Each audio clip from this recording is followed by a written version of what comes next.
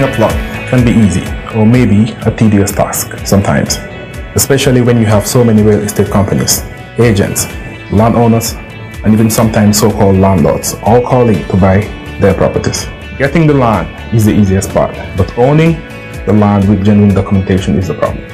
We have seen unprecedented court cases of people going to court to settle land issues. If you're looking to buy a plot or a build home with no risk of stress, guys, look for the right real estate company. At EJ Investments, we don't just sell plots, we build communities where any plot you buy from us comes with access to water, electricity, internal roads, and other social amenities. We guarantee you genuine contract documentations the moment you pay a deposit and a complete handover of your title deeds as soon as completing payment. We currently operate three projects in strategic locations, selling service plots and build homes in our estate to Jering Seafront, Sanyang Seaview Estate, and our Gunjur Sifo Coastal Highway Estate. Our plots are affordable from only $90,000 you can own a home at Gunjur Sifo Coastal Highway Estate, and from $200,000 you can own a home of your dream at our Sanyang Seaview and Lakeview Estate. Our two Jering Seafront Estate starts from $300,000 Plot sizes ranges from 20 by 20, 20 by 25, and 25 by 25. And we offer an option of 30% deposit and two-year payment plans on our, our estates. A beautiful home with peaceful and happy neighborhood awaits you at our project Tujereng Seafront Estate, Sanyang Seaview and Lakeview Estate and Gunjur Sifo Coastal Highway Estate. Call our office on 4464838 or 302-1056, which is also on WhatsApp. Email us or visit our website on ejinvestments.net learn more about our projects. EJ Investments, we're fast in property.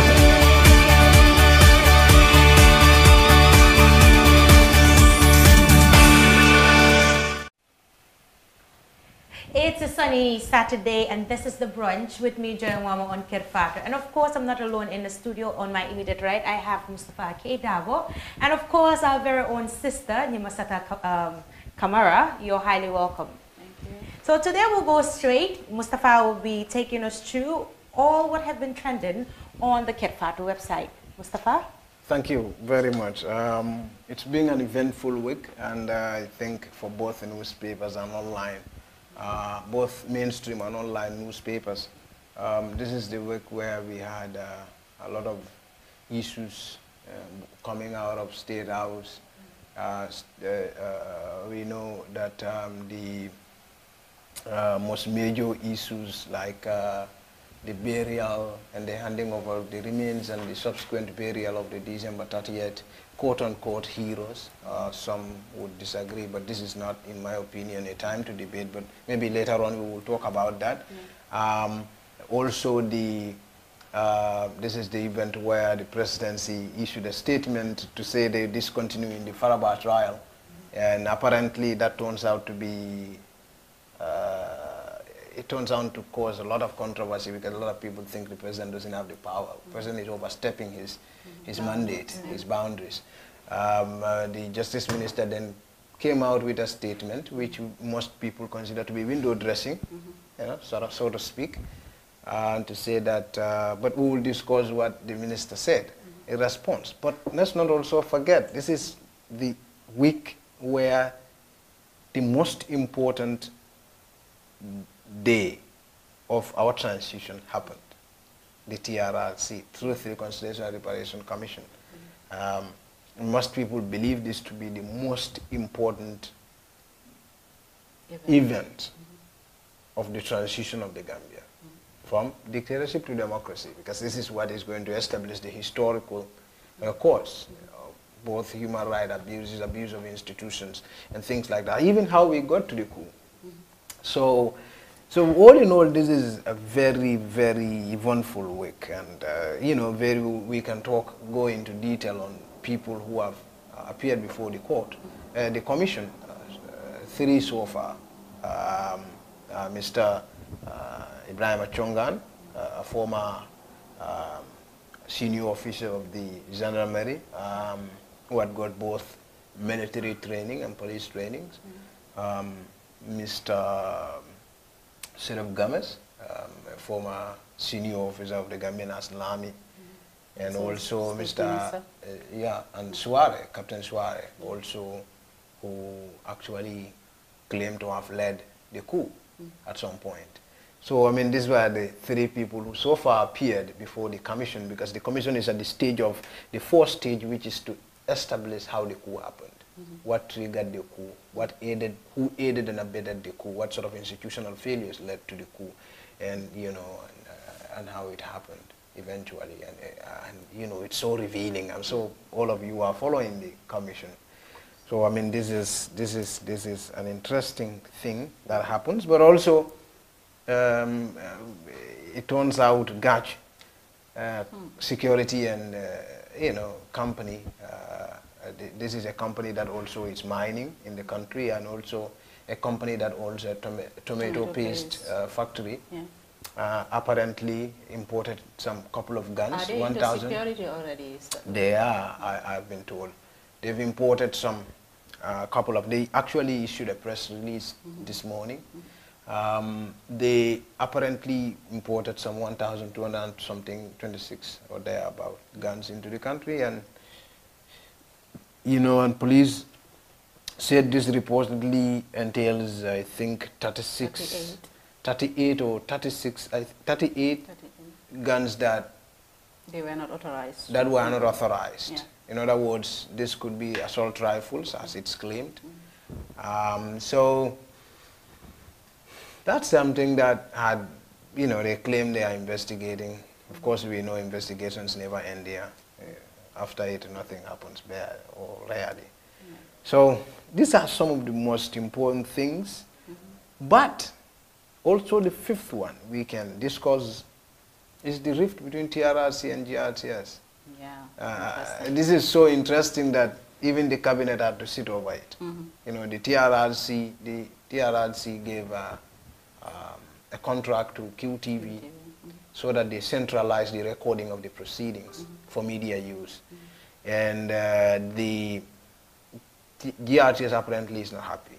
Um, and GRTS felt that because it's the state broadcaster and this is a state event, it has, it's supposed to have some, ex- if not some exclusive right, but at least some some access some sort of to the sessions and uh, you know so and the last time i was in uh, the executive secretary of uh, trrc mr baba galleh jallow's office um, of course i was there in my capacity as a journalist covering the event but also as a member of the as a as president of the press union so i was talking to him about some of the issues and you know he was very clear that you know he he, he was he told me this is the whole issue with GRTs is a misunderstanding. Uh, Yeah, but can we- can we start of from there? communications. You think we start from, I, from I, I think I think we can start from there. Um, I just I have a feeling that if you are a company in business with other companies, you shouldn't feel that you should be given a special treatment. Like although GRTS is a state company, uh, they are also they are taking uh, fees on advertisements, and they are not doing anything for free as far as their coverage. Maybe coverage is free throughout all the media houses. But other than that, they are in business as much as QTV, as much as any other uh, media house in this country. So if according to how the TRRC uh, officials have explained it, they have opened the bidding, they applied, and the other party had an advantage over them and they were picked, I don't see any reason why that should be a controversy. No, Be- but, but then, um, let me quickly ask this question. Yes, we understand that uh, GRTS is also in business in as much as QTV is in business, but this is a state affairs that we're talking about. Like you rightfully say, said earlier, don't you think it would have been quite justifiable if they were given a portion of the coverage of um, the entire TRRC events? I mean, that, that makes sense. Uh, I think to have only one media house covering this is because of the sensitivities that surround the whole process. Because you cannot open uh, the, the, the to all the media houses to have unlimited access to the information that comes out from there. Because the TRRC have a, they have a mandate to make available the information that they think is for public consumption. but there are some information that would remain private. So if you have only one media house is covering these events and sharing with the rest, there you have the means to manage what information goes out. Because this the, the media houses that you have contracted now has a responsibility towards you, right? So GRTS being this state uh, television station, television station, I mean, it's, it's tricky. You would expect that they should be given, the, but I think it, it boils down to giving equal opportunities to all maybe uh, let, your mind, together, let me pick your mind on this. Um, GRTS is covering the Janneh Commission for free. Yeah. And they not only, GRTS has in the previous uh, state events own exclusive coverage rights over certain issues and they provide clean feeds, mm -hmm. clean feeds at no cost to the state, to media houses. They did that even at the recent state opening of the National Assembly. And they covered the Janneh Commission at no cost. Um, do you not think it is reasonable for TRRC, instead of being involved in that cost, huge amount of cost relating to the coverage of QTV, to engage GRTS and see what they can do within their means to, to, to, to give to do what QTV is currently doing because they said they can do it. If they can cover the, the, the, the, the Commission the way they did it, they said they can do it. And they even live streamed the, the, the Janneh Commission. I, I, don't doubt that. I, I just feel like, I mean, from the beginning, if that had happened, if they had negotiated on uh, having GRTS cover the events on pro bono, Mm -hmm. we wouldn't have had this controversy. But I think the fact that they, they have opened a bidding process and all of them compete on a fair and level, uh, fair level platform, and the other person had an age, or the other company had an age over this, I think that's where the controversy comes from. I think the TRRC personnel saw it necessary that as long as the media houses are in competition, they should be treated fairly. Yeah. Right? Well, but then, then here is some other thing that also, um, up, uh, uh from the QTV side, uh, and based on the contract, is also a bit unreasonable. QTV has refused to give clean feeds to media companies and to iAfrica specifically. They've refused. And when iAfrica even access their feeds from the TRRC and not place something on their logo, their logo is there, but iAfrica also put their own tag yeah. on the feeds mm and QTV removed them. No, that, that's not right. That, that, and TRRC could not do anything about it. And when I inquired at that time, -hmm. An official there told me they they are even yet to sign the contract. Okay, now you're coming. So that that, that if if if that they, yeah, so so that means it that's that that probably takes it to a whole new level. That okay, means so if the if the contract signed yet, that's what the official told me. QTV can now decide to monopolize uh, the information that they got they gather because the contract is not compelling them to share. So, so, so, when the TRRC also invite journalists to talk to us about the proceedings and how it ought to be covered, here is what they said. Centralized coverage, which means QTV has won the contract, mm -hmm.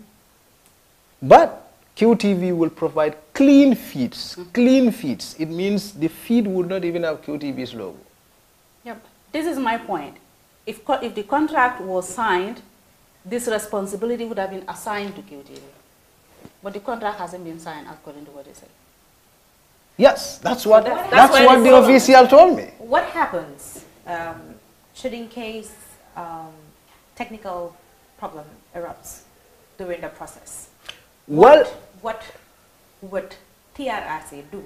Because in that event, it means certain information, major information, would be left out what would TRRC, what do you think TRRC would do? So in my opinion, if you ask me, I don't, I don't know. Because the thing is, even when the QTV, even when iAfrica packed their things, remember iAfrica is followed a lot online on this because they, they were the only one who was were live streaming it from QTV. We were not doing it. Our, our, our rivals, none of them were doing it. The newspapers don't do live streaming. So it was iAfrica alone that was doing the live streaming. And when I Africa lost the feeds from Q, or they were denied, Denied the feeds, I mm-hmm. should say, from QTV, the mm-hmm. TRRC itself mm-hmm. was helpless. You know what? They couldn't do anything.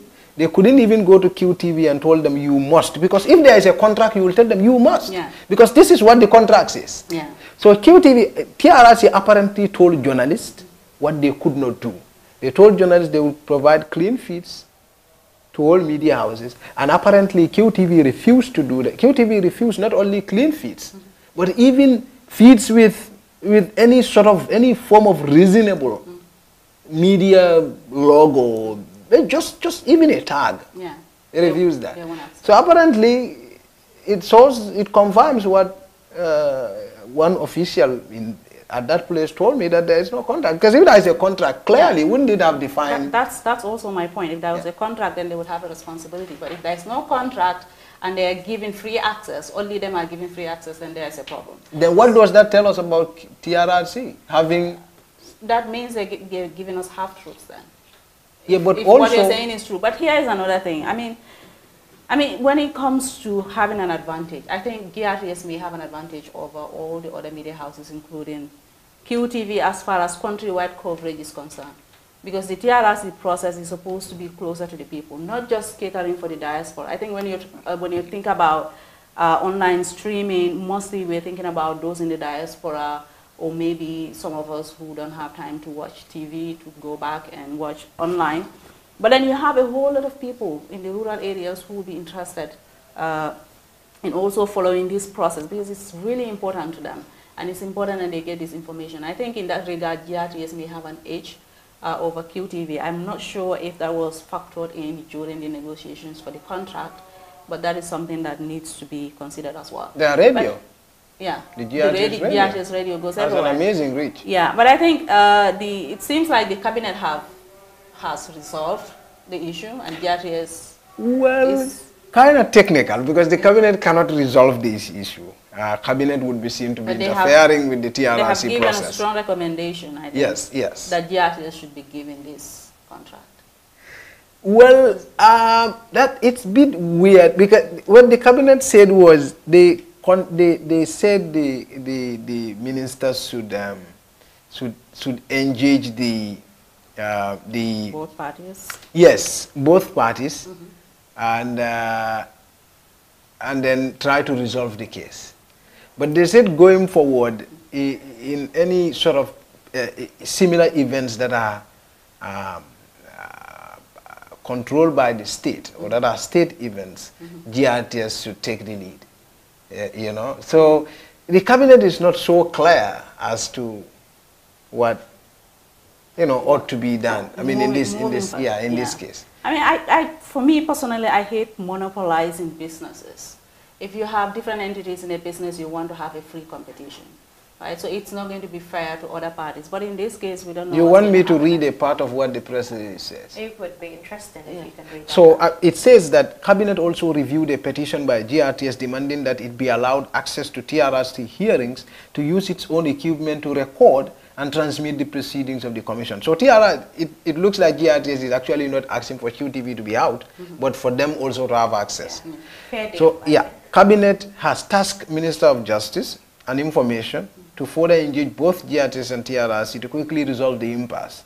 Cabinet further resolved that from now on GRTS should be the first point of call for all state institutions and or subvented institutions in need of live streaming and broadcast except where the state broadcaster does not have the necessary technical capacity to undertake such activities.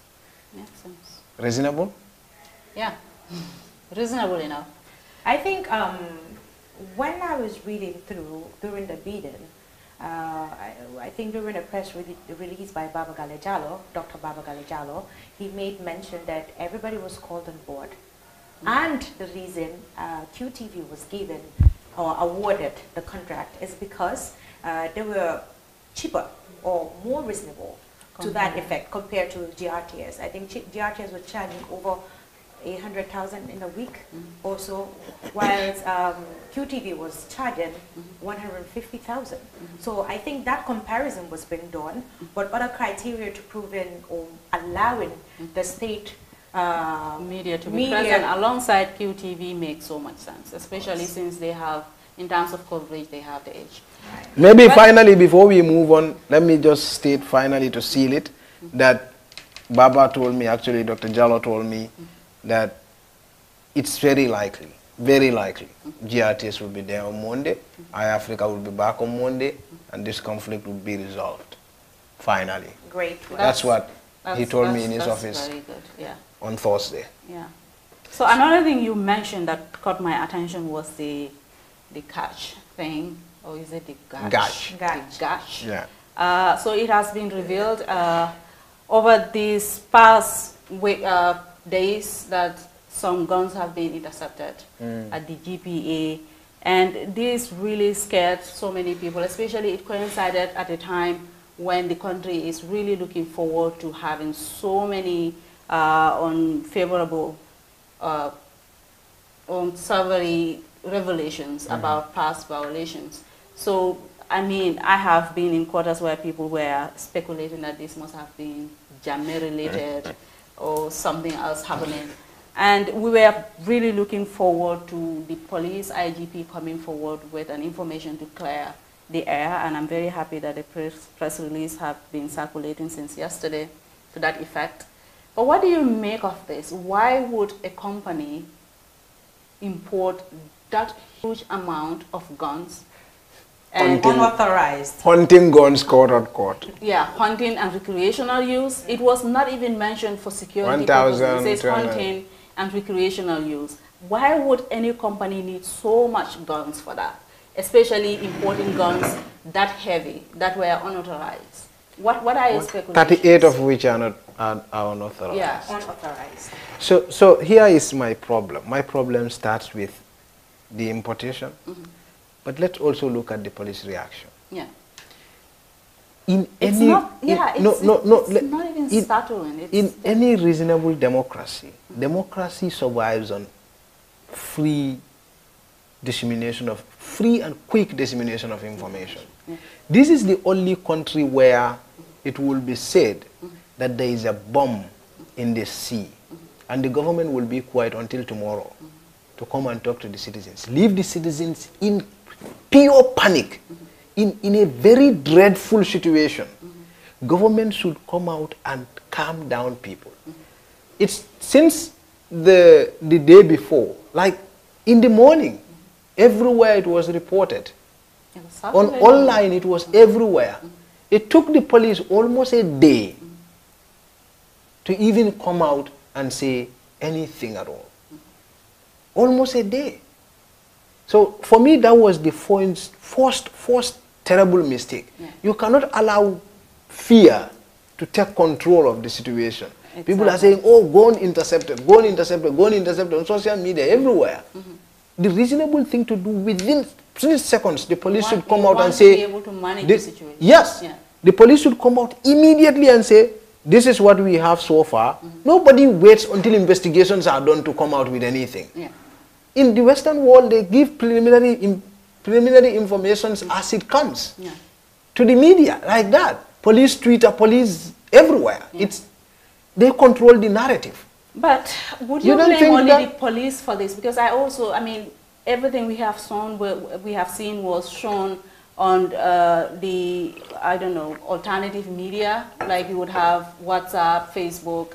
I mean, everything I saw was on WhatsApp and Facebook, but we have not seen uh, these things coming out on mainstream media.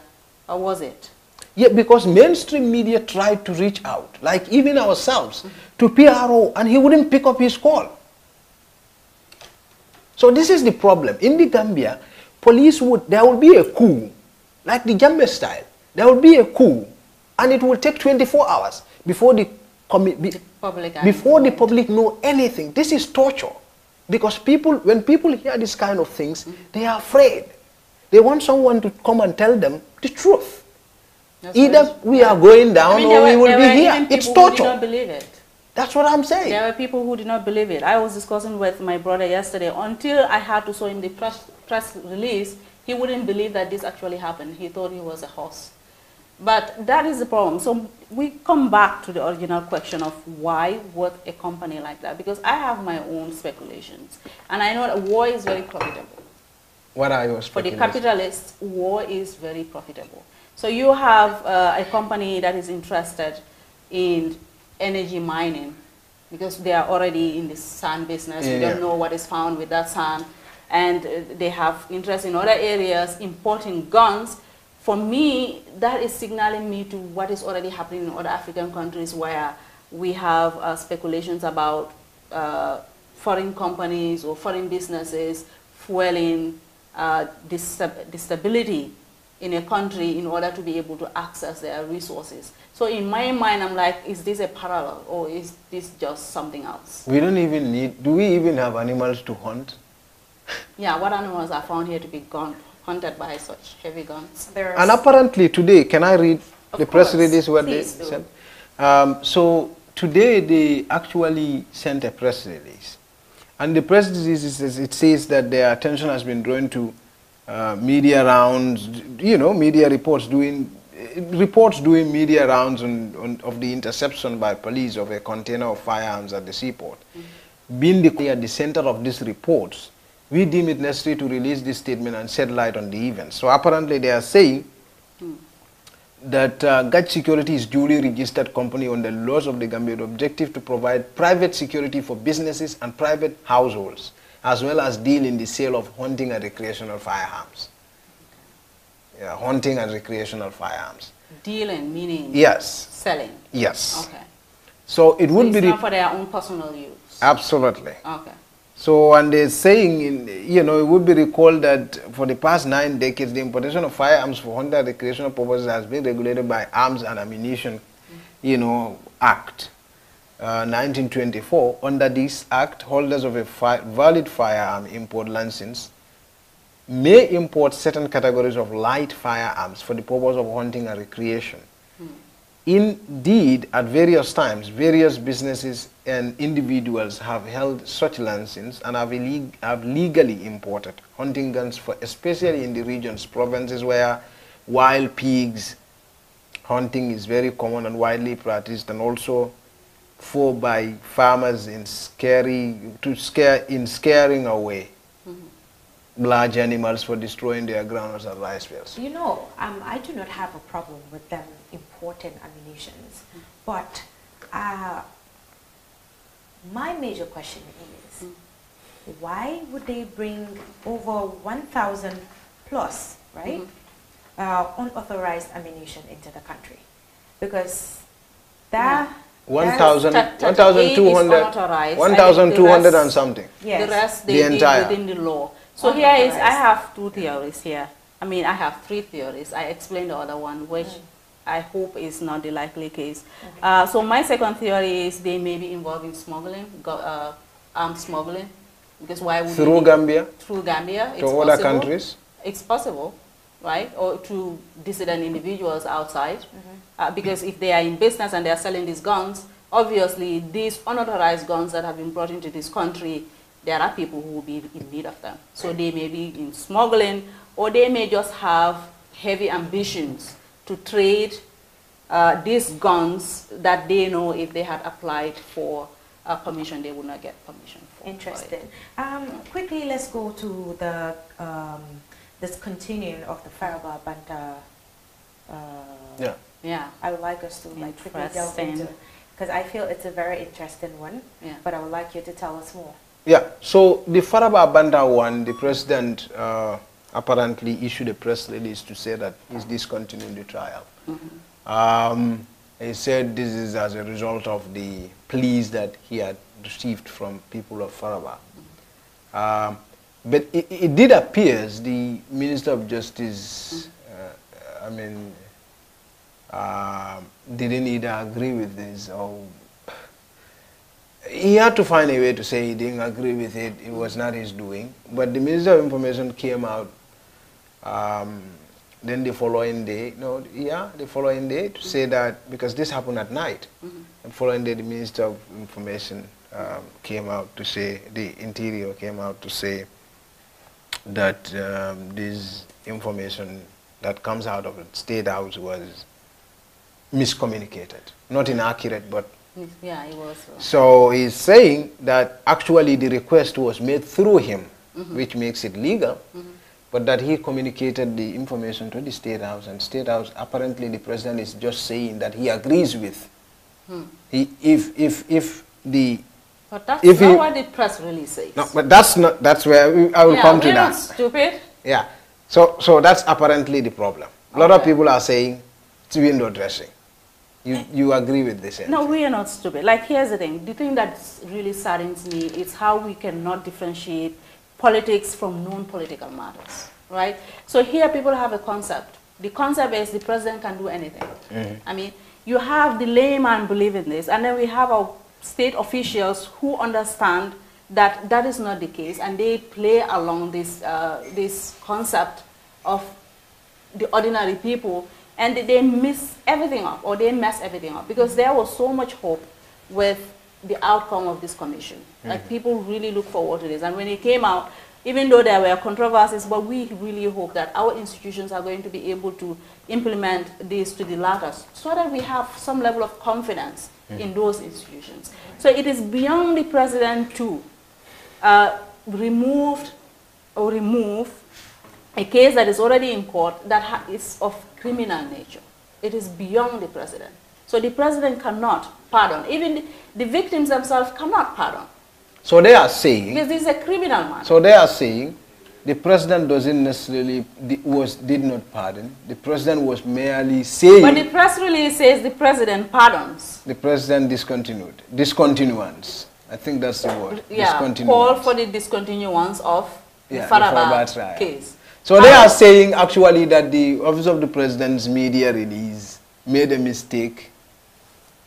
Semantics. But we all know that is not the Use of language. Yeah. But I feel that um, I mean, I, what I understood from uh, the justice press, uh, sorry, the justice minister, was that perhaps the president misunderstood his position because when it came out first that the president has called for the discontinuance of this case, my, for me, my reaction was, where was the justice minister? Where was the attorney general? Do they not consult him?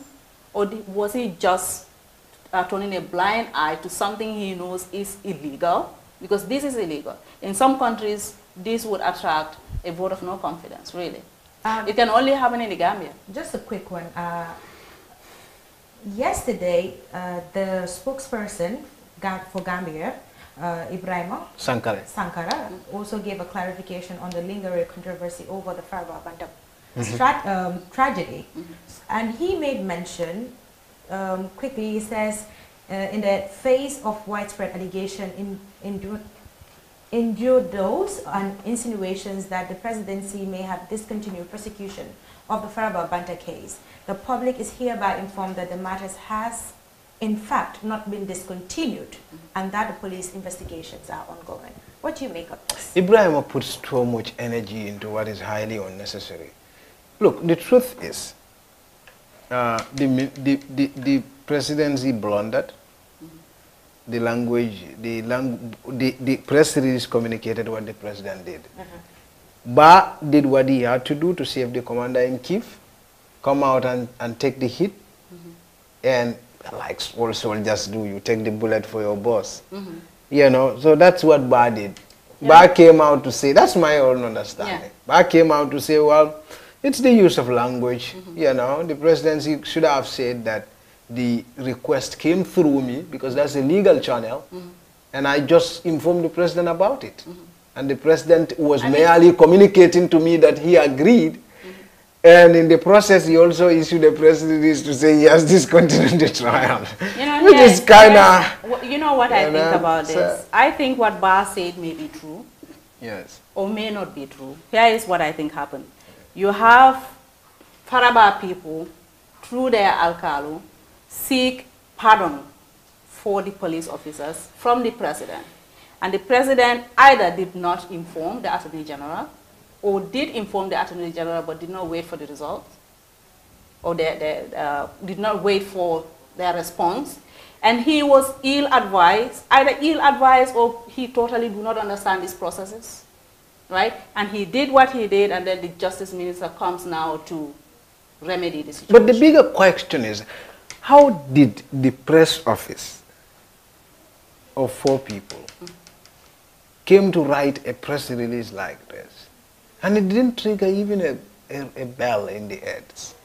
And, and when they are done, they, they release it like that. I mean, personally, me, I'm not a legal person, but when I see anything that mm -hmm. is of legal in nature, mm -hmm. or anything that has to do with professional stuff, mm -hmm. I seek advices, ring, a, ring one person and say, look, but this one, is this likely? Can the president even discontinue a trial like yeah, that? A criminal trial. You know, so, so in that kind of case, I think maybe the office of the president could have yeah. could have actually... So the bottom line is they didn't. They didn't understand the issues, one, and two, they did not seek advice mm -hmm.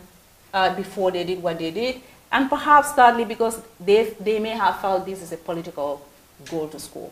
And it was a real mess. So we have three more points, yeah. three more minutes um, until this particular thing is done, segment is done. So probably we may want to run quickly into the TRRC. Okay. Because this is the most important important thing yeah. uh, we, we, we've had in our transition. Okay. Um, finally, we're beginning to get into the minds of Jammeh. We're beginning to know him. We're beginning to, to interact with people who know him, people who slept with him, people who drink with him, people who did the coup with him, people who've seen him being angry, seen him smiling, laughing, and at the same time crying. You know, yeah. people who know him. And a lot's been said. I mean, people who train him. People who've seen him break rules and, you know. Yeah. It's exciting. It's, it's very exciting. And I think a lot of people were looking forward to this. It got to a point where people felt perhaps the TRRC may not even begin because it has taken so long. So it's, uh, it's, it's very good that they have started now. And I, I'm not surprised at the fact that they have started with these three people because uh, according to their communications, they were going to start from stage by stage from 1994, and these were the people who were there since 1994, and they were servicemen, so they were people who, like you said, know Jammeh in and out. So it's not, it's not surprising that they have started with these people, but my question to you, especially since you have been there, what was the most revealing thing that came out? Exciting. You know, for me, TRRC, you want to cry and at the same time you want to laugh. Like TRRC, it's, it's not all boring. Then that's exciting. So the, the thing is, mm. For me, the most exciting thing, I, someone called me yesterday and asked me, what's your takeaway from this week at TRS? I said, knowing Jammeh, of course. I, have never known our Sultan, the, the, the, the, Master Chief of the Islamic State, actually drinks alcohol. Mm. Uh, nobody thinks about that. But there were spe speculations. Of like course, yes, but you've not seen a confirmation from some guy who trained him and sat down with him to tell you, yeah. actually the Sultan himself drinks alcohol. Some, I wouldn't be surprised if somebody said Jammeh takes cocaine. I wouldn't be surprised. Yeah, but, but actually, all the people who've testified before the commission, who've interacted with Jammeh in, in no small way, mm. actually said he drinks alcohol. And this is not like he's like say, he drinks when he's happy. Like he drinks, like really drinks. Yeah. You know. so, so, but this is the guy who comes out and made it a habit to swear, I will drink alcohol and eat pork. Yeah. you know, it's as if he didn't. He, he's never.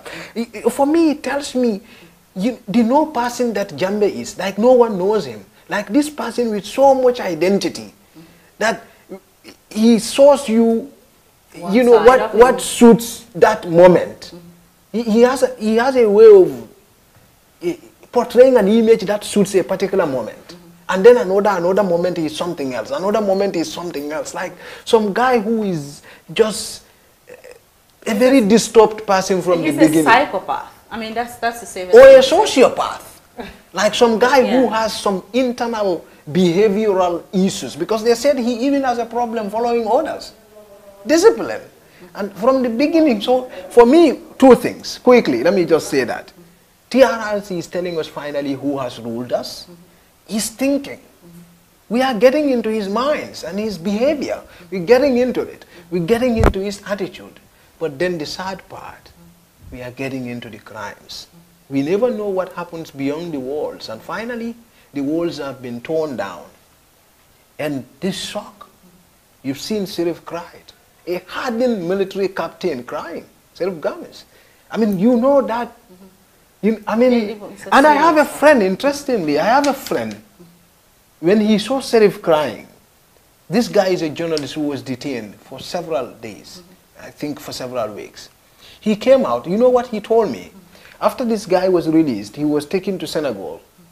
And that's where he was with his wife. He ran away to Senegal with his wife. When he came back, he told me, you know what happened to me? I cried when I heard this guy crying. Because the trauma he is talking about, because Serif said for one month, mm -hmm. and even sometimes it happens to him today, he cannot sleep on the bed. He had to sleep at a bed, at a, at a, on the floor because he's used to sleeping on a plank of wood. And this friend of mine told me, Mustafa, I had a problem with my wife because I was always sleeping with the key to our house. I've never felt comfortable to place the key anywhere because it seems to me as if someone would come, take the key from me and open the door and they come for me again. Wow. Trauma. But it's a therapy yeah. because people are speaking and you, they're crying, they're leaving it.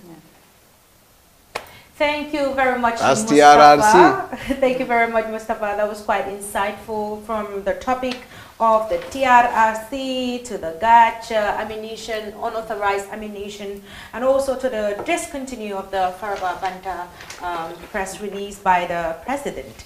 So now we'll be inviting our very own Nimasada to give us insights on what happened the most um, trending information on our social media. Nima? Um, so, I mean, we don't have anything that is different from what we've discussed. Uh, what has been trending uh, especially on WhatsApp these past two days was the guns that have been intercepted. And we also had the Faraba Banta case. Uh, and and Barrow and Darboe saga continues. But Mustafa, will you know more about yeah, yeah, yeah, yeah, absolutely, man. Yeah. I mean, we've all seen it on social media after Barrow went to meet Kombo South people. We've not not seen much of that. I mean, I don't think we did, you, did we? Of course, it was all over social media when Barwan met Kombo South people and was saying um, you would be a Oh, I saw I saw something on him. How would you have slaughtered the lion and yeah, I, I saw something about calling somebody yeah uh, and give the lion to the SOB. I mean, if you translate it from Mandinka, that you would have to be an SOB if if you know what that means. Uh, if you kill a lion, only to give it to vultures vultures to eat. I mean, this, this seems to be a favorite uh, term that Barrow uses because he's used that in reference to himself uh, when he was defending his association with UDP. And now it seems that he's using the same term uh, also to justify why he's not I think this is apparently the most trending, isn't it? Yeah, that has that has been trending a lot. I don't know why I forgot. I, he said something very specific about yeah. Dembo Bifos that he he described Dembo Bifos, who is apparently has been rumored for several times as being in the Barrow camp. Mm -hmm. That Dembo, Ninga Dembo sort of man, Mansura model. Yeah. This is revealing, isn't it? Very. I mean, yeah. So Barrow versus Starboard still raging. Yeah, it seems like this is going to be a very long battle. Maybe we should just fasten our seats and see how it unfolds. It's very exciting. Two years of war. opponents uh, to see this happening because Barrow and Darboe's marriage was a very attractive one. But now it, it must be very exciting. Now it's a marriage of convenience. Yeah. Really? Apparently. Interesting. Yeah, so that is all we have on social media. It's nothing that we haven't discussed already. Maybe we should just move on to something else. Thank you very much, Nima Sutter. That was quite insightful talking but except about... Except that Barrow. Yeah, ex Mustafa? Except that I may be tempting to say that, I mean, it's, it's actually, if you look at both sides, mm -hmm. I know we've discussed this before, but if you look at the tension, mm -hmm. and you look at state house gatherings. Mm. There are two, th three things that people are discussing, and I want us to also look at it. Okay. You know, since we have a few minutes. Of course. To look at, one, on the other hand, political meetings at State House, mm -hmm. and two, the question of the state of mind of the president, mm -hmm. which is very important, uh, is becoming highly partisan, is becoming highly uneasy, mm -hmm. and is becoming, he's showing paranoid. a lot of insecurity yeah. and paranoid. Mm -hmm. um, and uh, we discussed that in relation to his mandate. Exactly. But I also was, reforms I was going to say in relation to the people. Because now you have a responsibility towards the people, and for almost three years now, we haven't seen much of what Barrow has done for this country in terms of development, in terms of reforms, although reforms are slowly taking place, but it's not to a speed where you would expect something to come out before his terms end. Uh, so you have all of these things happening, and then you have a president who, when we were voting into office, we expected to deliver these reforms for us. And that would be his only mandate, and then he would give way to somebody else.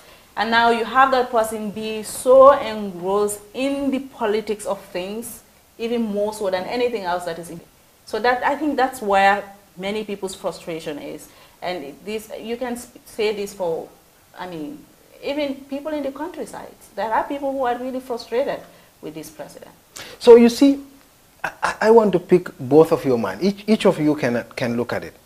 Um, when the president said, Barrow said that he was like, in Mandinka he said, uh, Mubuka jato faya di wala ya domo. I mean, ibekala din So, so, so, so th this simply means you would not, you, you would have to be an illegitimate child or some, something of that sort mm -hmm. to, to kill a lion and give it to the vultures to devour it. Mm -hmm. Was he the lion? It looks like it. But he has hailed himself as a lion. This is not the first he, time he, he, he killed the lion. He, this is not the first time he did or, that. Or, everybody killed the lion. So in this scenario, Jammeh is the lion and he is the hunter. Uh, who, Such a brave hunter like Abu Khan. Yeah, a brave hunter who killed the lion. And now he killed the lion and he's in a position to enjoy his uh, feet and somebody else wants it. Like, that is the interpretation. So, so, so, so this is what I want you to tell, look at it. Maybe you will tell me what you think, both of you. Mm -hmm. When he said that, for me, in his mind, I am, I am looking into someone who is, whose perception of power is that this is not service delivery, mm -hmm. but it's, it's an I enjoyment, an enjoyment. He, I think he feels entitled. I think that's what I feel. I think he feels entitled. He feel he feel he has done something extraordinary. And he needs some that reward. We owe him. Yeah, he has to be rewarded for it. But is that the case? Like, what has Barrow sacrificed that nobody in this country has? Like, there are so many people, the TRRC is going to reveal this, who have laid their lives for this country, who have been killed for this country, whose blood uh, has been used to achieve what we have already achieved. Barrow is, I mean, until 2016, December 2016, nobody has heard of this guy before. I mean, I'm not going to belittle his contribution, but he hasn't done anything extraordinary that no, nobody else has done. So I don't think that gives him the, the, the, the mandate to rule, especially if the Gambian people have given you a very specified mandate that you are not delivering on. Uh, let's look at destruction and mandate. Do you have some time? Uh, we have three more minutes to go and then we'll quickly take. So, so, so let's look at the mandate and destruction. Barrow's mandate is to do some reforms. But like Salah said the last minute, mm -hmm. the last press conference he has had, mm -hmm. now Barrow is an executive president. Mm -hmm. It appears we're screwed, aren't we? But most of the, the pledges are, predicate, are, are premised on reforms if they don't come probably the pledges would come. That's the only Probably that, mm -hmm. that would affect the 20, 20 2019 budget. But, it's Barrow screwing up. But the only thing that can, that can give us an indication that we have transitioned from Jammeh era to any other era would be the reforms. If the reforms have not happened, then the transition hasn't happened. Yeah, but then again, if the pledges didn't come, there is going to be an in, in unimaginable gap on the budget. What was the pledge? The pledge was a lot of a lot oh, of. you mean the, the money that has been pledged? Yeah, to the from country? Brussels. The 1.7 billion. But that's also Don't the thing. Forget, Who so would build a country based on somebody else's pledge? That is the problem itself. Like you have, the reason why we vote people into office is to think about how to make resources and how to develop our countries using those resources. Apparently, so if you just fold your hands and you wait for some pledges that have been made that could either be given or not given, then you are setting yourself for failure. Really? Finally, finally, finally, Darboe apparently has some problems with Barrow. It's out in the open. Obviously. and the vice president mm-hmm. and his president mm-hmm. are having problems. I- Don't I you think- think, this is this is this is this is affecting the growth of the I, I country? think, I One think should go. either one of them is waiting for the other person to make a move to remove. but you don't think I think Barrow wants Darboe to resign on his own oblivion so that people will not blame him for it, especially the UDP camp. Yeah. But Darboe also wants Barrow to be the one to fire him so that he has something to say, so that he will not be regarded as somebody who has betrayed uh, a And president in- that and has in the meantime, the country own camp. suffers. Yeah. because So the vice it's- president it's and his only a matter president of- are not seeing eye to eye. It's only a matter of time until somebody gets to do something. Thank you very much, Nimaseta. That was quite insightful, and I believe our viewers are learning a lot from all this conversation being held here on Kerr Fatou. And now uh, it's time for uh, the entrepreneur. And every edition of the program, we always uh, uh, we always profile a Gambian business who is clean on uh, creating employment for young Gambians. And today we will be going to see the CEO of VIP Fashion who goes by the name Suleiman Davis. Suleiman, we watch.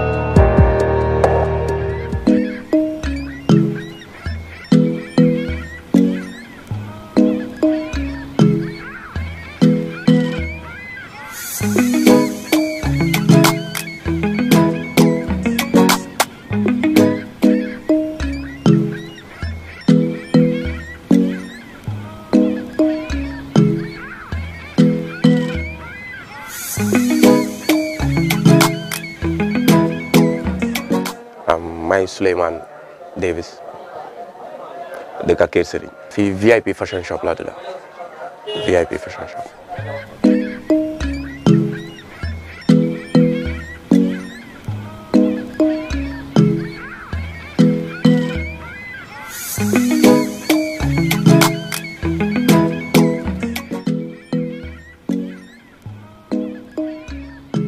wel man business bi mm, dama si yaaga dunda yaaga na si man. So yëfi solo dafa yaagoon na ne. Yëfi solo moom dafa yaagoon na ne loolu moo tax ma dugg si business. Bi ay bagages yi góor leen day jaay maanaam yëre yi góor ay daali góor yooyu rek fi day jaay. Loo xam ne góor moo ko dee solo men wear am neen chemise am neen t-shirt am neen am adidas wear yi am neen daala jolaani flatters different kind of bagage yoo xam ne loolu la góor dee sol la ñun dañ ko dee import ñu indi ñu jaay.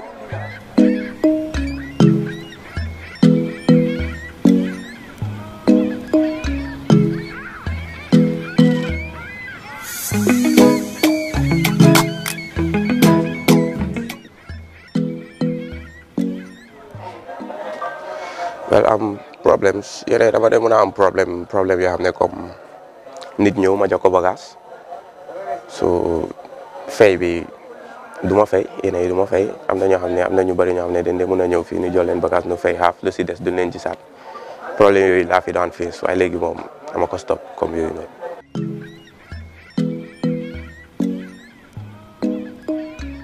well góor yi laa de gën yéen ma indi bagage yi jigéen yéen suñ koto bi indi bagage yi jigéen waaye dafa nekk lu em rek ñu jaay ko fat fat mu jeex waaye comme yëfi góor rek leen dee di seen dress yi ndee sol comme exemple bu nekkee gis nañ ne programme mu ngee ñëw ay marché programme yi waali wala leena ni. Koto bi daf day indi bagage su indee bagage xam nga mu mun a gaaw jar fat fat te ne mun a jaay bagage yi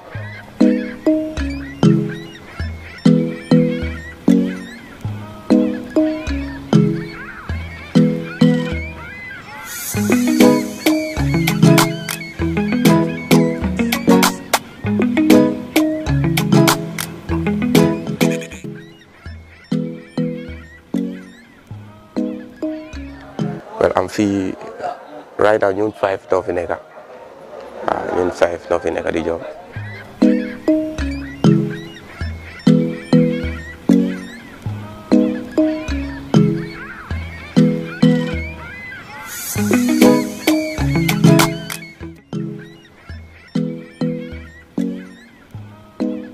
well in five years time di gën a fas job like, you're yokk doole wërsëg bi gën a ibeeku sales si gën a dem ñu gën a mun a expect more more shop am.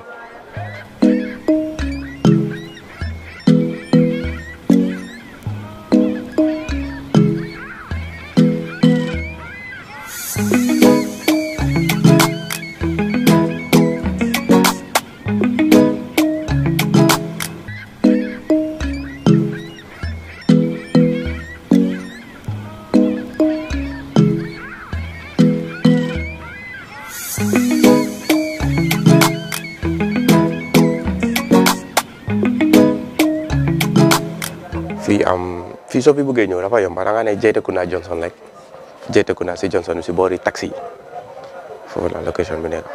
am first number 3740551 beneen bi 7642280 loolu mooy business number bi 3740551 beneen bi 7642280.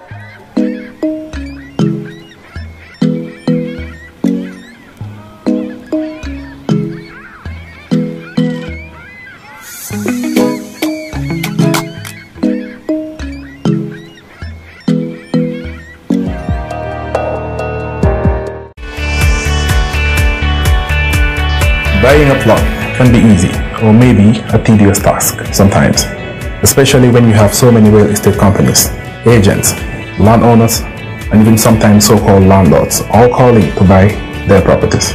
Getting the land is the easiest part, but owning the land with genuine documentation is the problem.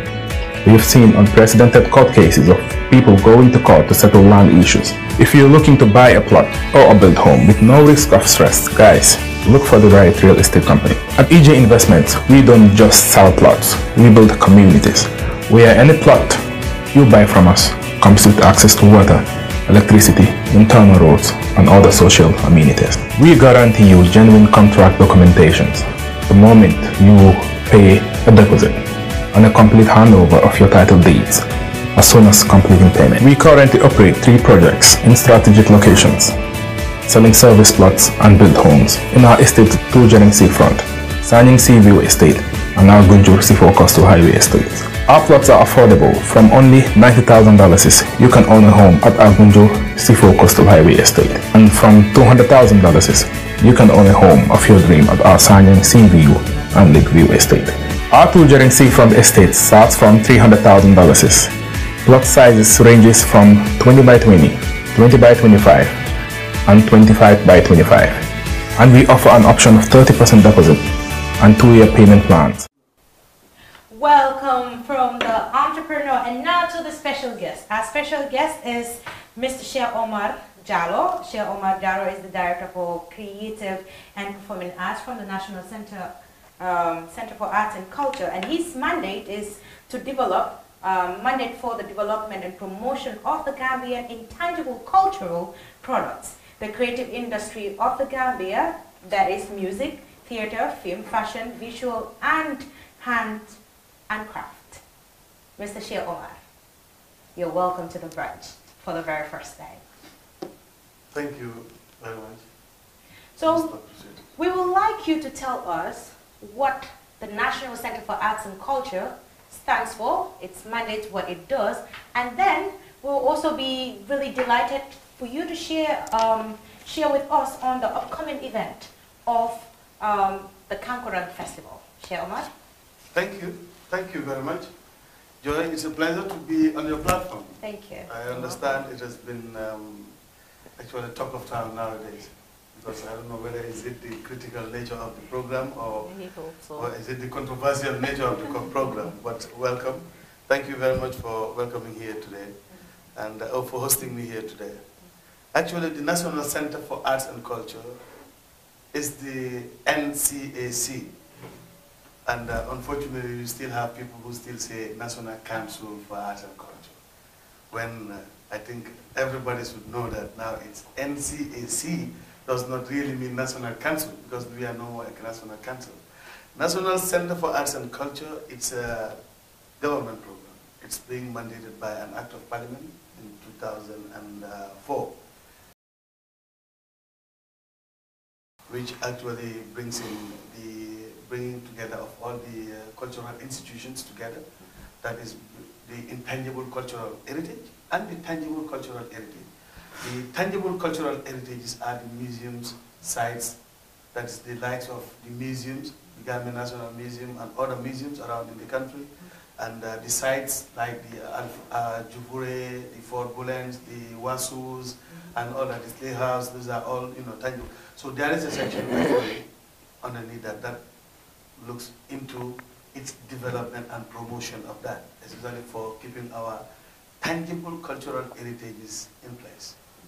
And the other aspect that um, uh, the National Center for Arts and Culture operates on is the preservation, promotion, and development of the tangible, intangible cultural heritage.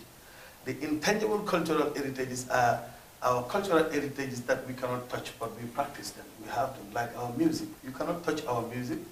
You cannot touch our films physically, like what you see. No, that's why you, you're touching the tape. Maybe you can say that. But these are all intangible cultural activities. We express ourselves through them. And our dances, you cannot hold any dance in your hand and say, this is our dance. You cannot hold on our song and say, this is our song. The same thing applies to all the other facets, especially all that are integrated in the creative industry. Like whether it's handicraft, that is also under the visual arts. These are all things that we express ourselves as a culture, uh, as a tradition. That's why, you know, you have, um, uh, today, for example, I am in a real traditional stuff because I'm feeling motivated I'm coming to talk about the Kankuran thing. So a Kankuran must be dressed in a jafo.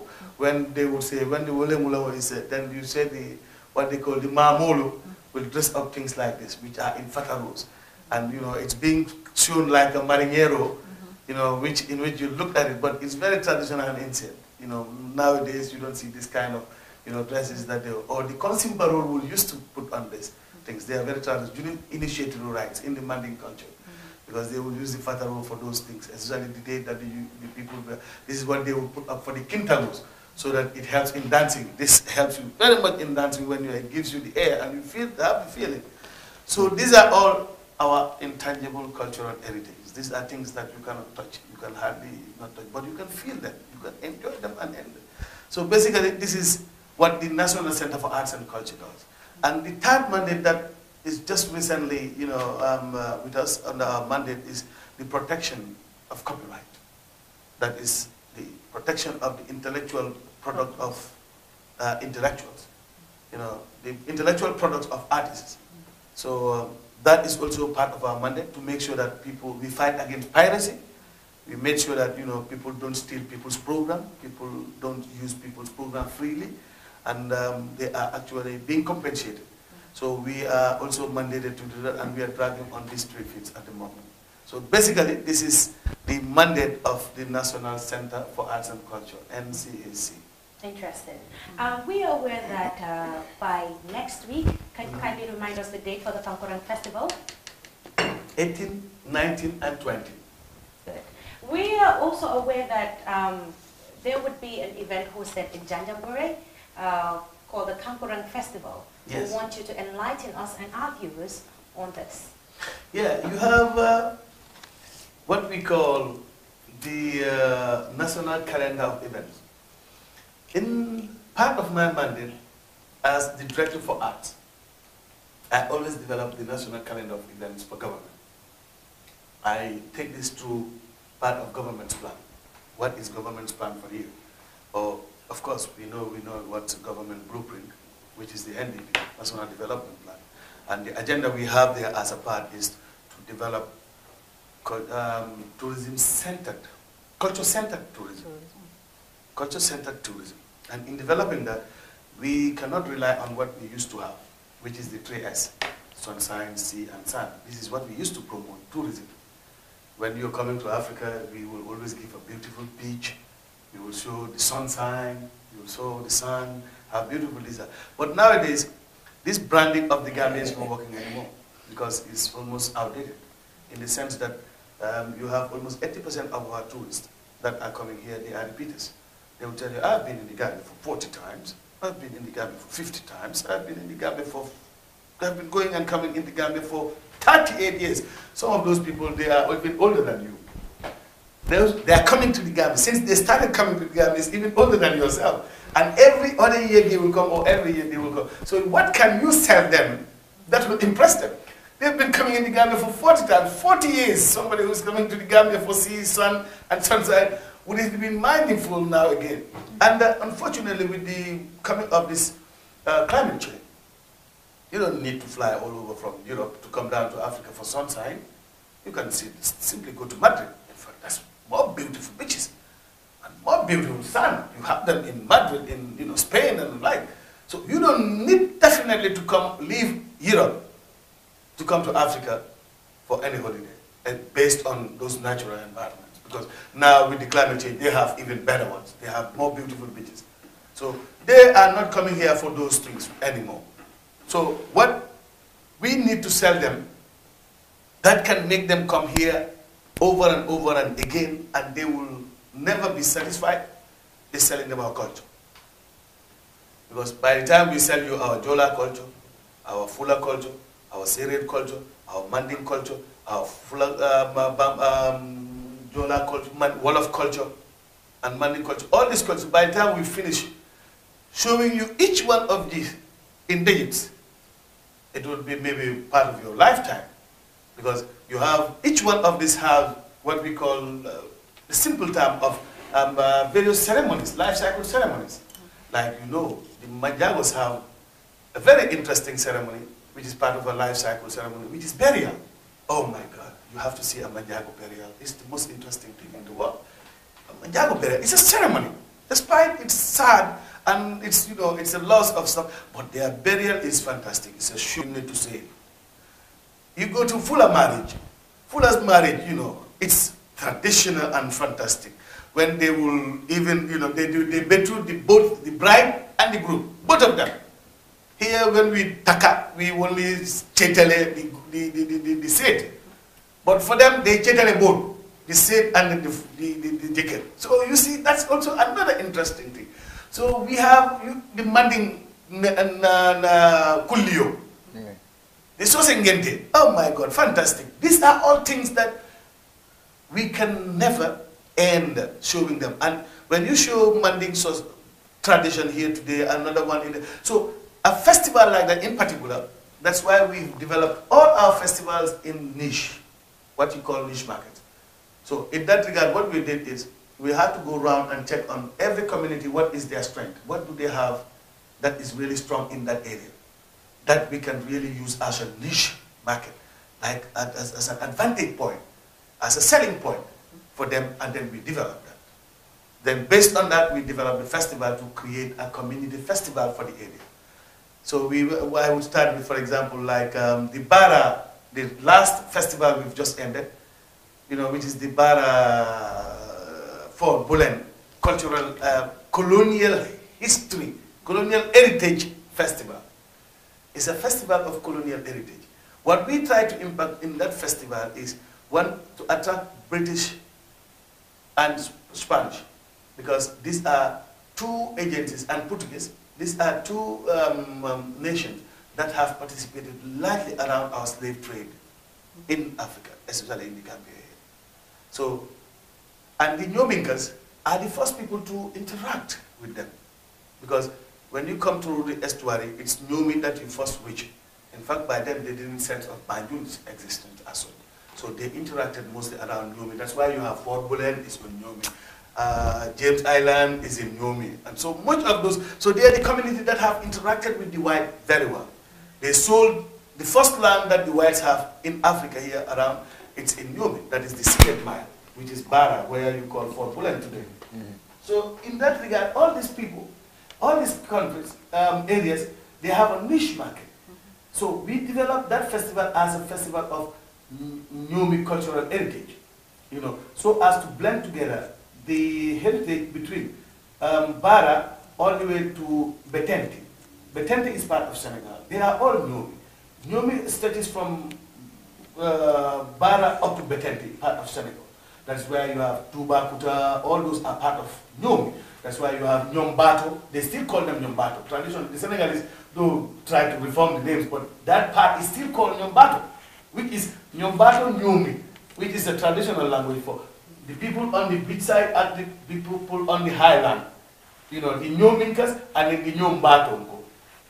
So you have to, so we try to amalgamate both festival and have a cross-cultural linkage. We have one big one called the Nyomi Badia Festival, which is a cross-cultural festival we do together with Senegal in Tubakuta. So a replica of it is on the other side. In Nyombato does one to government of Senegal, in Senegal, we do that. And then now we also do one again on the part of Gambia because Nyomi is still part of Gambia. It's Nyombato that went to Senegal. So Nyomi and Nyombato, they also come together because these are the people that interacted with the colonial heritage. So we have the Nyomi Badia Festival that takes place in Barra. So the other festivals that we have also, which also has a niche market, for example, I said, the life cycle visas, you know, the life cycle ceremonies of ethnics, that we showcase that in Sanyang. In Sanyang, when you come there, that's when we mix this, you know, cultures. You see the Fula, we show the Fula tradition, the Jola shows the Jola initiation, then we try to mix those things out there so that people can see differently.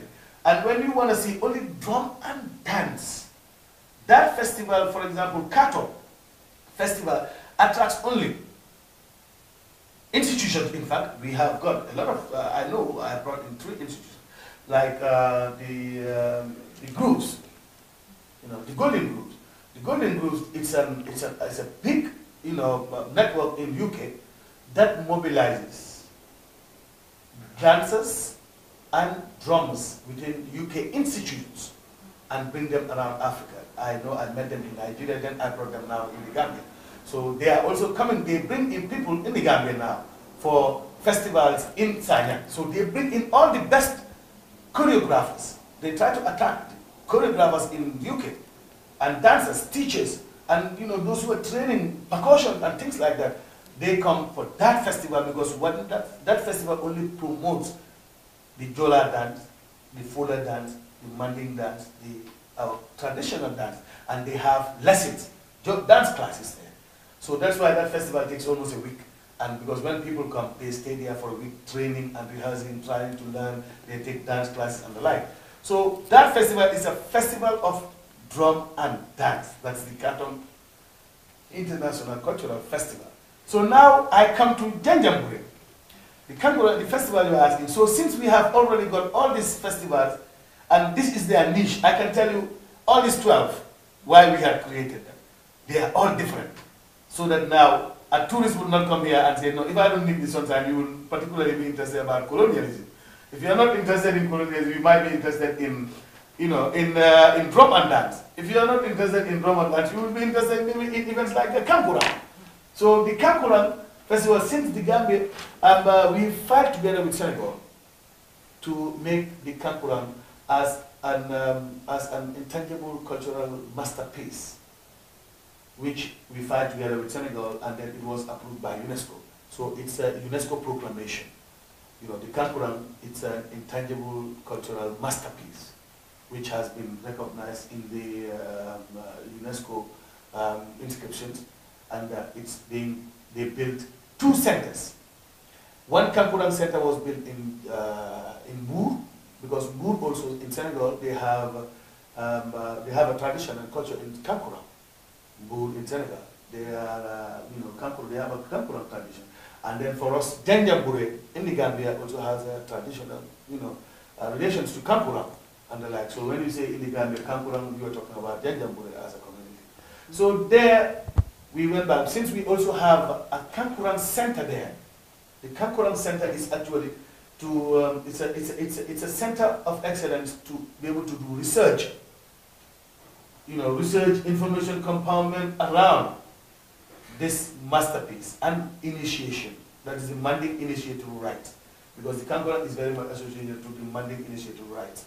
So we have this center at uh, the Kankuran Center in Janjambure, which actually documents and only info, gives information about the Kankuran and the initiation ceremony, the initiative ceremony of the Manding tradition and other traditions so apart, this is what we have looked at the Janjambure Kankuran Festival, and um, with the help of YEP this year, we are able to develop a good program to roll this year, which I bet is going to be exceptional.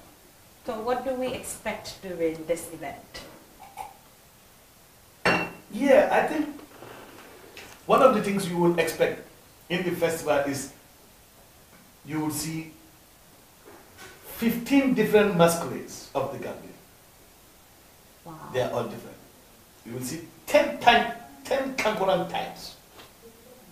Maybe the type of Kankuran you know very commonly is just the Farah Jambo. Jamba no. Jamba yeah. No, you haven't seen anything. There is the Mamu. It's a Kankuran. There is the Wulem Wulem. That's the one with Jaffo? The, the Wulem Wulem is the one with pure Jafo. Yes. And then they fold the head here. That's the one that turns to become the Fambondi. Yes, Oh, wow, that's the one that turns to be the fan Yeah, that's the one that Fambondi. comes to be the Fambondi. When it is not flying, it is wule wule. Yeah. When it is flying, it's a Fambondi. So are we Different. expecting to see Fambondi? Well, we will be, they will be exposing it anyway because they will, because they had promised they will do the jambo, jam, jambo. Yes. Because can, for jam, you cannot, it's by option. It's by request from the elders, then it by so because it's not somebody that you dress. Yeah. You can be a family and I don't know. Because family is about the knowledge. Once you have the knowledge, you become somebody just neutral as anybody else. So all that they need is they fix the, the, the, the, dress and then, you know, the jafo and everything, how it's supposed to be. They put all these ingredients and all the stuffs in it. They put it at the junction around, you know, market place. So with the, you know, sadaka or, you know, the arms they give around, then they leave it there. Big. Sometimes even before you step out, 10 meters, you see just something like a wire wheel, that wire wheel that comes in. Then it gets inside the devil. Then you see, you only hear pam. Then- that is the camera. Wow. And then, then- yes, and if then you had borrowed your feet, Yeah. you got to be on it on that day because the camera is already on, in there. So it's that kind of spiritual thing that happens. Then it starts moving, you're hearing woo, then it goes on and goes on. So, of course, they are ready to showcase some of those this time, and then uh, people will see, you know, the uh, the, the, the and then because they are going to tour Fambondi, they haven't done it for years, for real, they haven't done it for years, and this year they have promised they are going to be ready to put up because the elders are ready to revive this, and as a last bit, push to the young people the trade and then the skill, they are ready to expose it to the young people so as they are going to, to retiring this year. So the young people will start taking it over from now. So finally, um, I don't know if you have any questions for him. Well, Nima obviously does. Because No, we I mean, I- out of time. Nima Nima has some. The, the animation with which you explain explained it is very exciting, and I don't know who doesn't want to be there. Like I want to be there. Like you, you have been mentioning things that draw my back to my, my mind to my own childhood, the consimbaros, the quintaos, and all of these things that we are not seeing happening now. Yeah. Uh, I, I have a question around that I'm going to ask you later on, but right now what I want to know is, apart from the tourists, who else do you expect to be there as far as the Gambian community is concerned? Or is it these elaborate festivals only meant to attract the tourists, or is Yeah, it okay. That's a good question to ask. Actually, no, it's not for the tourists only. Okay. The tourist, of course, is a little part of entrepreneurship development in terms of sustainability, making sure that we're able to derive some things. Obviously, yes, we have um, economically targeted to uh, get the tourists so as to vive it, to sell it. Yeah. But our particular interest is the Gambian. We have packages for Gambians, mm-hmm. and we have packages for even those who are from Janjambure and they are diaspora. So it's one formidable thing which is not only about the festival happening there, but the most interesting part for the community is their sons coming home for a weekend. Right now, the Janjambure in Kas, Yeah. in Germany, in UK, in the US are converging in the city, in the village at the moment. So that moment of everybody excited, exciting that hey, Nina Mina Kampuram Festival on Nintole. So it's a big event for them because some haven't seen each other for ages. So this is the only opportunity or time when they will come together, all of them at the same time, and then we'll find each other in this village. They haven't seen each, um, each other for ages and the like. So some, that is one part which the village enjoys well.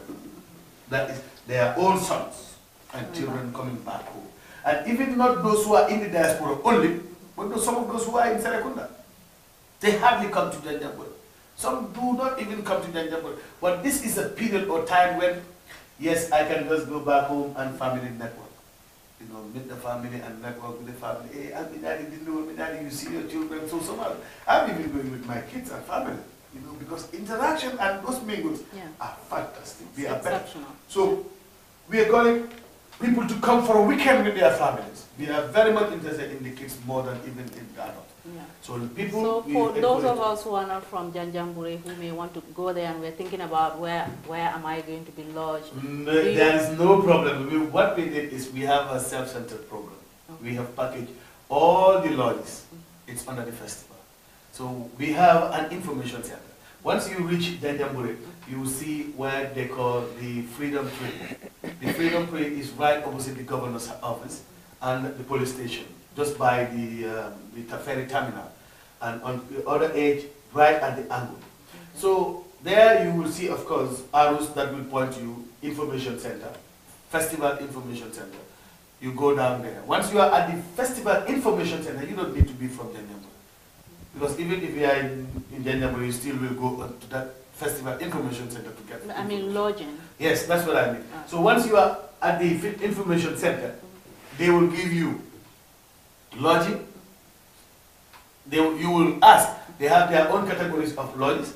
They will tell you these lodges are for this, and this is it. This is available. This is available. This is available. Are they So for free? they are no, no. They are all paid. Paid. You have different categories. You have, I think, um, uh, there are some that are 600, 800, and even thousand dollars per day, which involves includes everything.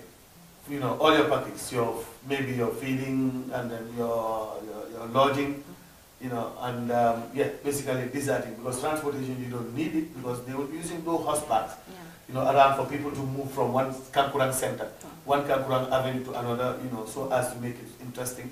If you have not ever, if you have never ride a horse, you will have an opportunity, Yeah. you know, to be able to ride a horse from one Kankurang point because we have five different Kankurang points where we display each of these Kankurangs and they are, they are performing there. So they are big games where you can go in there. So you don't need to know somebody in, in Janjambure. All that you need to know is know your pocket. That at least I will take, you know, a package of 600 or a package of 800 or a package of 1,000 a day. So that is what you have. Though the tourists, they have their own packages too, because we are also lodging them in different places. But for Gambians, we have 600 per day, 800 per day, and 1,000 dollars per day. But these are all inclusive. Thank you Do you very kn- much, uh, Omar. Okay. You, the Last time, question, time please. elapses. Yeah, Yes. yeah, because I, I am interested in the economic aspect of it, like say- say domestic tourism, so to speak. Yeah. Like, uh, for instance, Gambian living from one end of Gambia to another end of Gambia to also understand them, you know. Um, so, in that kind of a situation, um, there is that economic effect. But uh, is it is it within your your your packages or your your activities to sell this idea? Maybe draw a leaflet, a couple of leaflets for Gambians, so that all every Gambian knows about this festival, know how to get there, and what how much it would cost them, even government institutions. Yeah, of course. I think that's what we did exactly. Like that festival, that flyer you're watching there is not for tourism. Because what we did for the tourists, mm-hmm. we share, because tourists, you cannot sell them a package in a day or two, or even in a week or month. Tourists, you sell them packages in months. That's why I always finish the national calendar of events or festivals of the Gambia every year.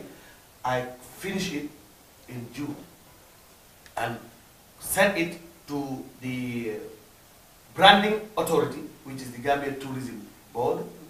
I send it to them for them to send to the tour agents. So when I send it in July to them, they receive it. By end of July, August, they've already sent it to their counterparts. So their counterparts receive it. Latest August, they receive this information that this festival is happening here, this is the date. This festival is happening here, this is the So then now they start selling. August, September, October. Three months, they sell the package that this is happening in the Gambia, so this is what we are going for. So you mark your booking if you are interested in any particular festival. You mark your booking around with that date, then you move on. So this one is actually for the native young people in the Gambia, or people around, because movement of people from one destination to another is tourism. So we are not only promoting that, we are also promoting domestic tourism. That's why we are saying we have a package for young people, or for people that are from the Gambia, 600, you know, 800 and 1,000. That is a package for that. But in the tourist, there is a tourist price. There is a tourist price we actually go with, you know, because we have give, eh, dedicated some ecotourism camps for them. And you, for us, we have these locals, we have this local lodging, and even this local lodging, we've integrated some people into families. You know, they've renovated their houses, built it nice, the house looks good, and then the toilets are decent, they are fine. So we're integrating some people into houses, into families. They will be living in compounds. There are, in fact, some tourists that are saying, no, no, I don't want to live in the Eco Lodge. I want to live with a family. These Thank you very much. It's been an insightful word knowing about the National Center for Arts and Culture, and it's indeed important as young people for us to know our history and get acquainted with the National Center for Arts and Culture, especially those in the um, performing arts, music, theater, and the rest, as um, Shea Omar have said. But before I take leave of you, I would like you to share your last words with us.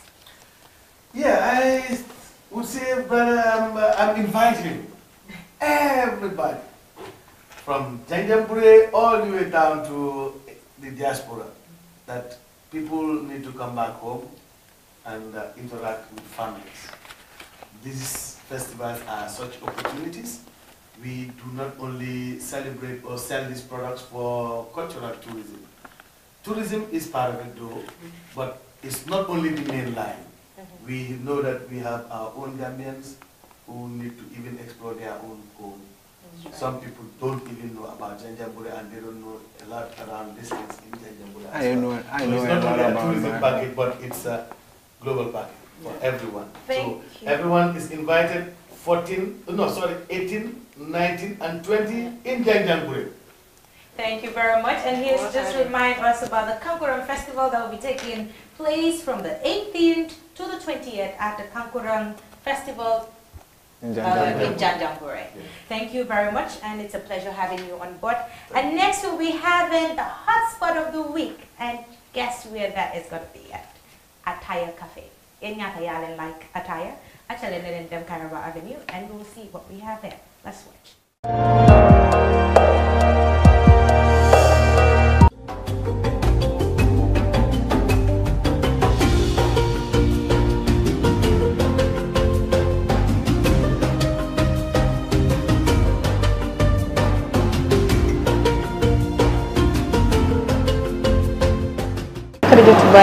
May liggéey fii Ataaya Café maa nekk luxury manager Uh, man my Aissatou Thiam. As of now, mm, I can say like acting assistant manager.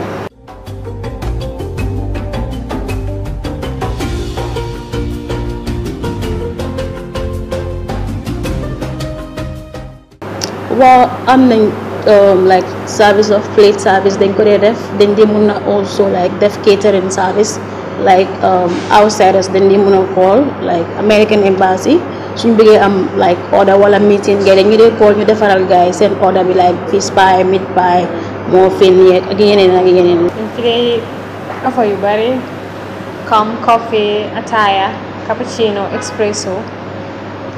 Pare dañ dee am ay lekk tamit comme croissant pie fish pie donut ak muffin. Dañ dee am tamit shawarma fried chicken burger ak chicken salad.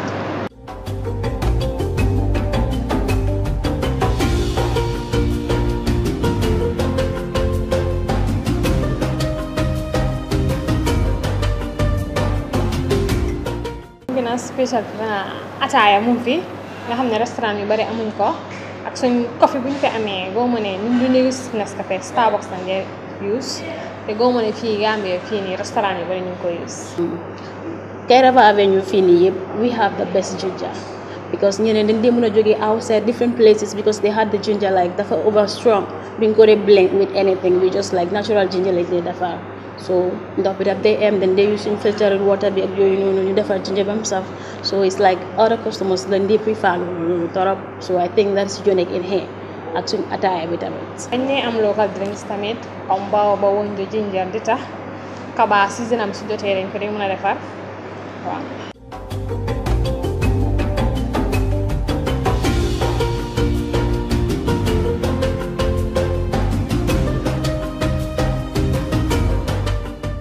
fi am library. Students dañ fi dee mën a ñëw ba pare dafa quiet mun nga fee ñëw. soo bëggee study wala nga bëgg a kenn mun na disturb mun ngaa ñëw. Fii We have the library and then we also have the other side of like different customers then they know muna study fini because we have some books here. Getting could muna use we also have a Wi-Fi. And then the they muna am um, student discount see a guy Episcopi tamit we also have discount for them.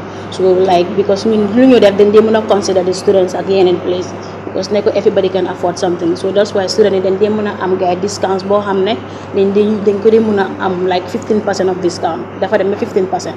So most of the students dañ dee ñëw fii read you know because the place is quiet. Amuñ disturbance ak noise yooyu noonu so that's it. So dañ dee mën a ñëw def fii seen meeting si seen lifin yi and then we also have something very special for people out there like poultry cafe every end of month see last friday bi gars yi dañ mën a host fii nii poultry cafe that's very interesting and educative. Nit yi dañ dee mën a ñëw fii listen to those poems ak yooyu noonu tamit. It's very good in the student side.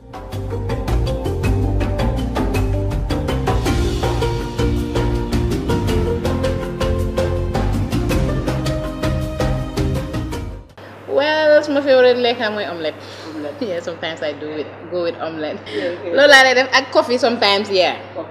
waaw when it is needed xam nga som xam nga naaj bi su tàngee xam nga jóobee ni ñoo dee def su naaj bi tàngee gars jël tii bu tànga jir waaye njaayee ni moom su naaj bi tàngee ñu offal lu nga xam ne dafa sedda rek waaw loolu la yeah.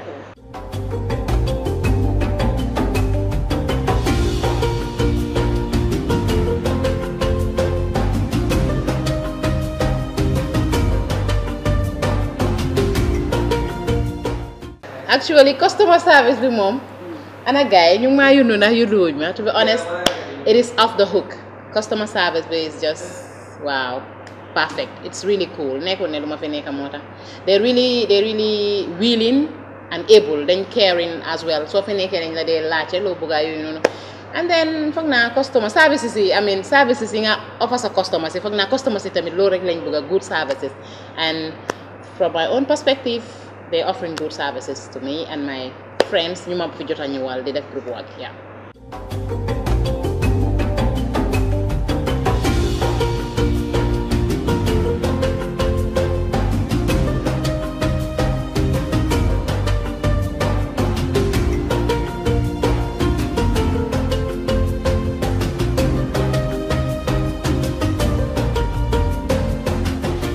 Location is uh, like um, Kairaba Avenue around opposite uh, American Embassy, I can say, uh, at Legacy University. Just um, the business number is like 7333344 Ataaya Cafe. 7333344.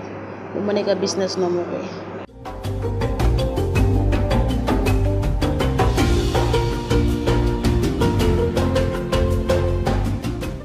Ataya Cafe mooy the hottest spot in town. Ataya Cafe is the hottest spot in town. Check it. Te moo xew si jamono.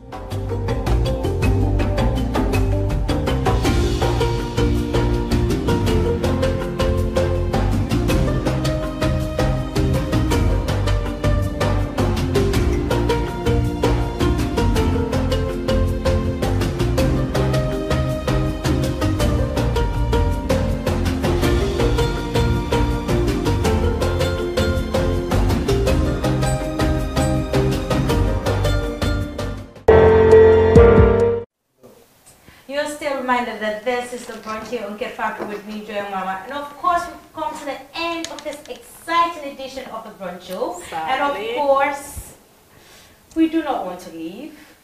But Oh, yeah. I am so sad that now I have to take the final words of our.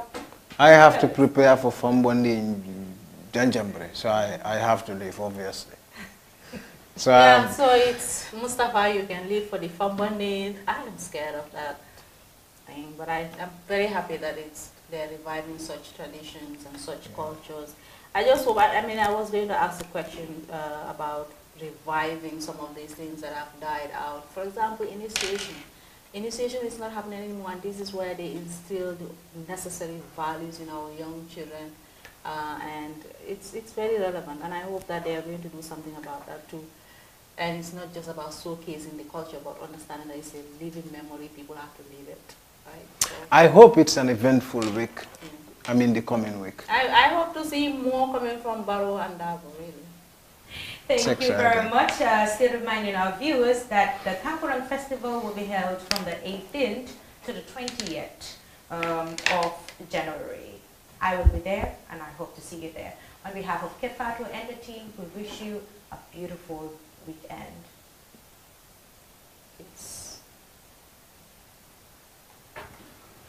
Buying